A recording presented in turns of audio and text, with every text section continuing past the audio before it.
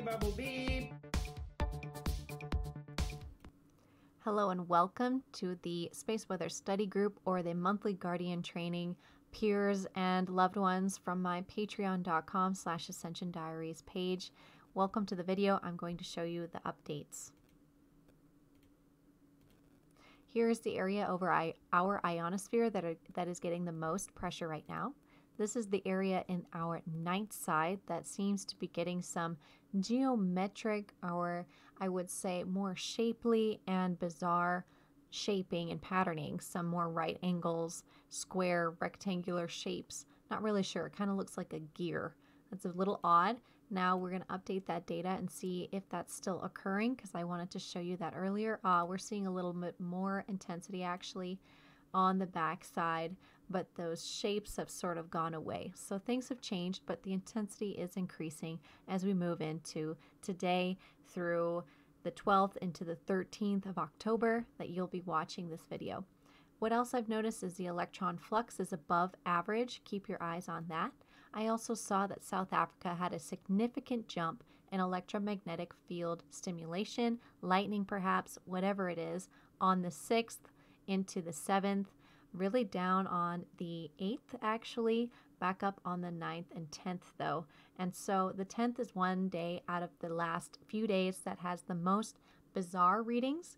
The 11th seems to make the most sense with some solar flares, but the 10th was very, very strange. Here's some more evidence that that is actually being cut out. October 5th is totally being taken away.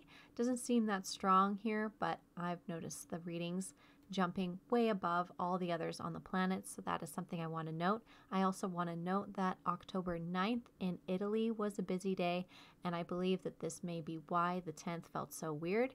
The 10th actually on the Russian charts was very, very, very quiet, which is another very odd anomaly. Very odd not to see any sort of spiking or behavior these days.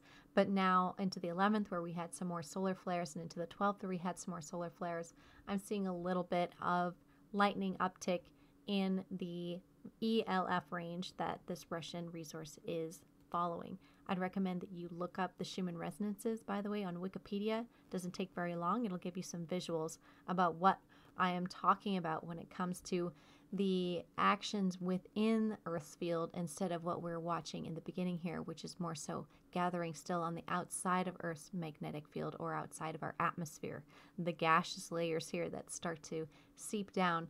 It's a different playing ground. So, what else I'm seeing is that over the last few minutes, even the last six hours, there was some very bizarre um, charges that were coming in. You can see here it's kind of dissipated now, but I've never quite seen it dance like this where there's all these multitudes of little stokes and the X-ray radiation. So very odd. To point that one out to you guys.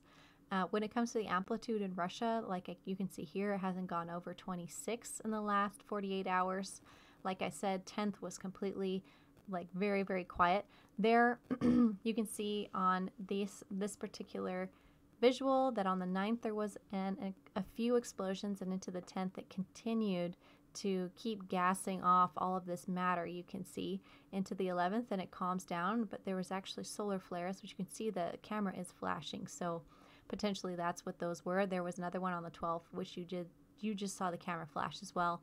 Also take note that there is a planet in this shot. You can see this bright white dot. That is venus. No worries.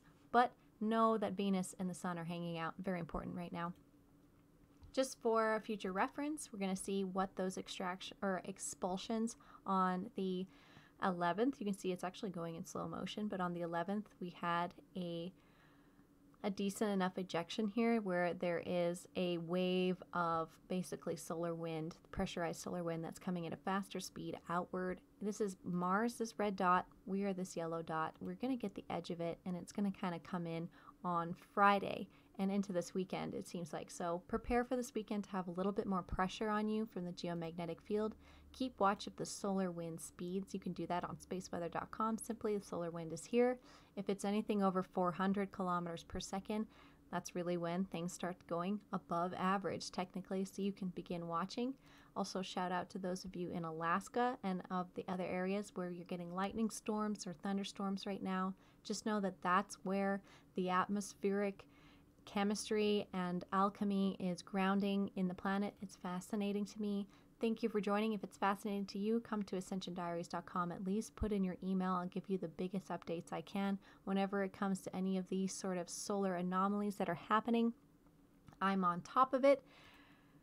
We are watching the solar wind go down currently, but like I said, by Friday, this should be going back up in speed and intensity. So heads up on that. We're getting a little bit of a break. We aren't getting as much solar wind out of this this area, but it would be if it was bigger, as well as the solar flashes or the the flares are coming out on the right hand side of the sun. This is turning away from us, so it's not as big a deal. There's still some stuff that's in range that's kind of busy. This one especially I'm looking at 3119 sunspot but there's also some stuff coming around the limb for us to see. And these these sort of storms tend to impact, I find, us more so. It's all due to the trajectory and sort of the spiraling effect of the moving through space behind the sun, basically. So if you want to know more and you haven't taken any of my classes yet, I have just released a free class on my YouTube channel or on my Rumble channel. It's called How to Become a Better Space Weather Watcher. It's for strategy and utility for all ages and thank you for all of the fun I get to have on this channel. Thank you for boosting my videos. Thank you for caring about X-class solar flares. We, on this October, got to add another to that list. So we have had seven X-class flares this year so far. Two months left, really. Well, two and a half. And we will see how the rest of this year sh shows up here on Ascension Diaries and on my my Instagram and go to my link tree. You can see all of my resources here from this video. Please also join me on my Telegram, either my chat or my channel. And I would highly recommend you follow these two Twitter pages, Space Weather Live and Solar Ham, to get updates about the solar flares pictures and so on. I will repost these things, but of course, it's nice to have your own resources too. Thank you so much for the donations here at Divine Sovereign Beings or at DS Beings on my PayPal. It all goes to a great cause. I have many little adopted beings that are living happy lives thanks to this work and all the busy work that we get up to at my house. So I will see you around in the next video. Thank you so much again for joining my Patreon. I will see you soon. Goodbye.